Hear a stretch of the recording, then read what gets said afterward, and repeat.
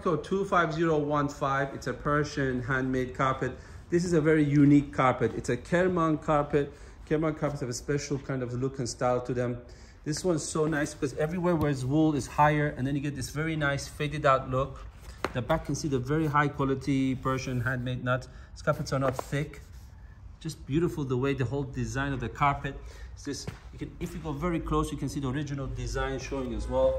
I just love how the black is so jet black with this white background. Something very unique about this piece in a very good size. And if you have any questions about this carpet or any other carpet in our collection, you can also contact us directly via the WhatsApp number on our homepage.